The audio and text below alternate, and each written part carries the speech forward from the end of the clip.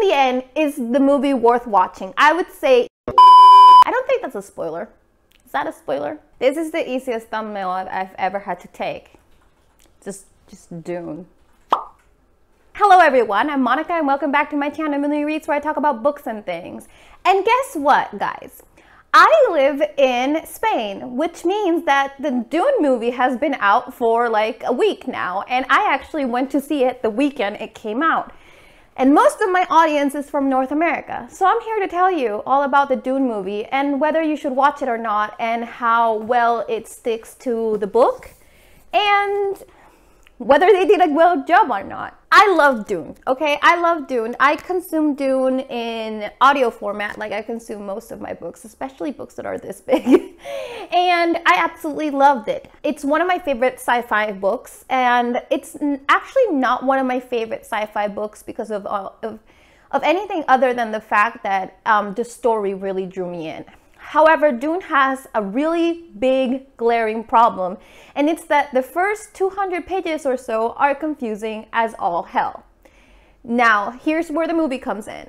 I think the movie does a really good job of simply like streamlining all of that stuff that doesn't really get explained to you in the first 200 pages and just explains it. So I think in this case, I the movie did a really good job for those of you who have tried to get into Dune and can't get into the book of really streamlining that part of the book and making it more understandable and making it really well done. As for the casting, I have to say that this is kind of a person to person thing, but I think the casting is fabulous. I think that the characters, the way they were cast, how they interacted with each other is exactly what I wanted. And I finally actually connected with a lot of the characters that I hadn't connected with in the book because the book is so full of characters. Whereas in the movie, they kind of streamline that and make you really see how these characters interact with each other and why they're so beloved. I, I really loved all the characters. However, I want to talk about one character whose changes might upset some people. I know my husband didn't like that part, but I actually did, and that is Je- the character of Jessica. Um, she is the concubine of Duke Leto, who is played by Oscar Isaac. He's played to perfection by Oscar Isaac and um, she is also the mother of Paul. I felt, and my husband also felt, that they did her a little bit like um, she cries a lot. she cries way more than she cries in the books. I think in the books they try to portray her more as a warrior, whereas in the movie she is more of a motherly figure and she really cares about Paul. For me, that that wasn't a bad thing. That was actually a really good thing to see Jessica being so worried about her child and so heartbroken about the fact that she knew that by having a boy this was what, what was going to happen that he was going to become a either a, a, a messiah possibility or a messiah himself. So i think that she feel you, you feel her guilt over that because she wanted it she wanted it but at the same time once she has it she feels really remorseful of it. That being said, let's talk about the set pieces. This movie is a orgasm for your eyes. It is so beautifully made. And this is coming from somebody that doesn't really like CGI. I don't like CGI in my movies.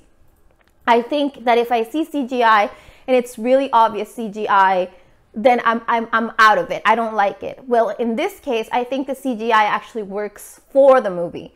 Now, the movie does have the typical director's very, um, should I call it like very peculiar palette? You know, all the, I think that the, the places we go, the, the, the planets we visit, all have the same coloring. And even, even Arrakis has the same like kind of, I guess, bluish tint to it.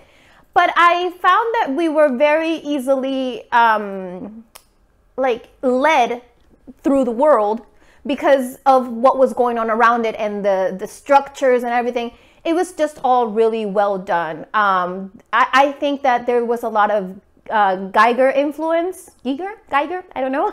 Um, the one the, the man who created um, the xenomorph. There was a lot of influence for him especially for the Harkonnen house which I thought was divine because I always pictured the Harkonnen house very Giger-esque.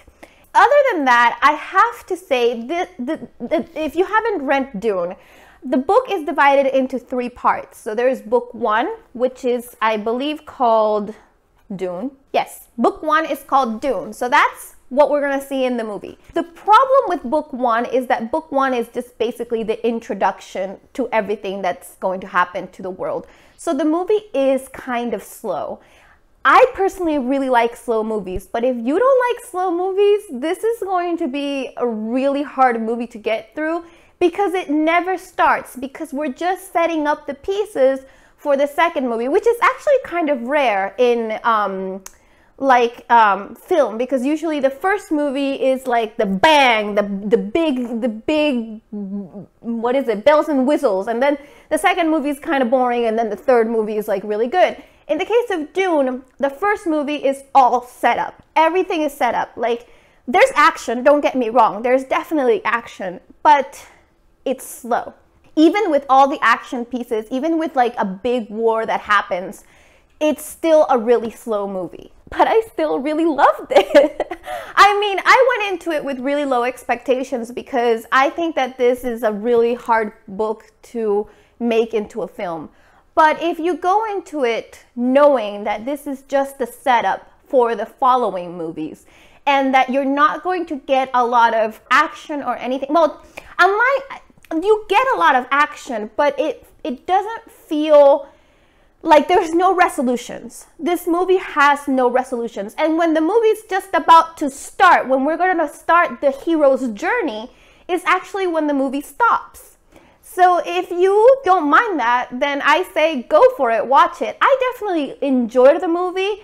I did think it ran a little long, but I wouldn't have it any other way. I loved I'm a very visual person in, in the sense that I love big, gigantic set pieces that clearly were obviously CGI, but a lot of it was um, done, you know, physically. I don't know how to say that. Like they, they actually built the sets, and um, I love the coloring. I, I, there are so many things that I want to talk about that you don't care about in the end, is the movie worth watching? I would say yes. In fact, I would say the movie is worth watching over reading the book. I think that if you want to get into Dune, but are having a hard time getting past those first 200 pages where it's really hard to understand what's going on, watch the movie and then get into the book. You're going to understand all of that, all that the book doesn't explain to you. I thought it was really well adapted, and I just I loved it. that is the tea. I really loved the movie. So when the movie comes out in the US, I hope that you will go see it because I really want to see the rest of this trilogy made made. I really want to see where they take it. I want to see what happens. Um, I think uh, I cannot, for the life of me, say the the director's last name, but I think he did an amazing job with a tremendous, difficult book to adapt. So if you like sci-fi, if you like big piece big space opera sci-fi, if you like family drama, there's so much family drama.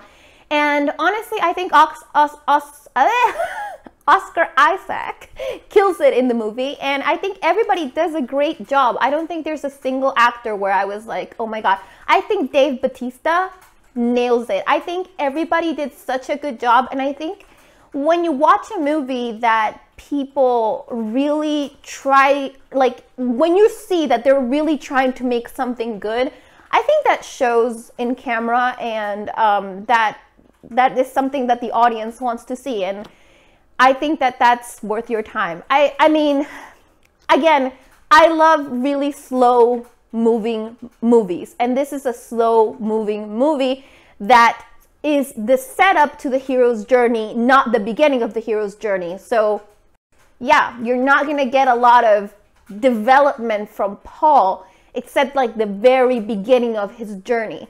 And then the movie ends. It, it, it's the setup for a second movie. That's it. This is really the setup for a second movie. And this is um, the director showing you what he can do. And I think he can do amazing things.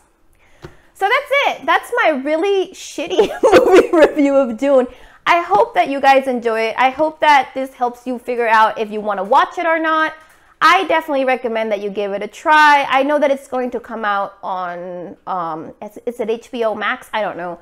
But um, I definitely recommend that you watch it in the theater because there are some incredible moments of just big spaceships. And I haven't had a feeling of such enormity since I've seen like old Star Wars movies when you see that Star Destroyer, you know, on screen. It's just unbelievable. I know that it's very tempting to watch it on your laptop, but I definitely think that you would be missing out.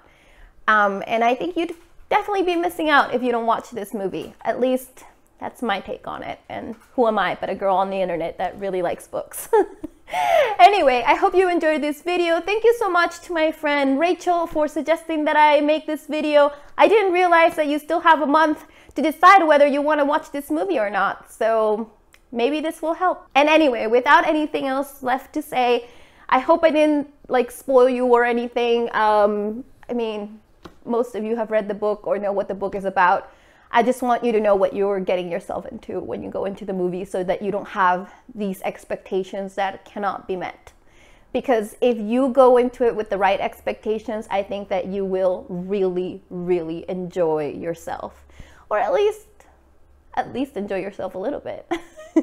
Thank you so much for watching. Thank you so much for all of you that stick by me. I know that um, I, I I'm gonna add like that if you are if you don't care about anything else and you just wanted to watch the Dune review, you're done. it's over. but um, I just want to thank everybody that um, st- sticks through my like um, I guess you could call it my mental health issues because I know that so many other booktubers can just push through and make two videos a week, three videos a week, no matter what.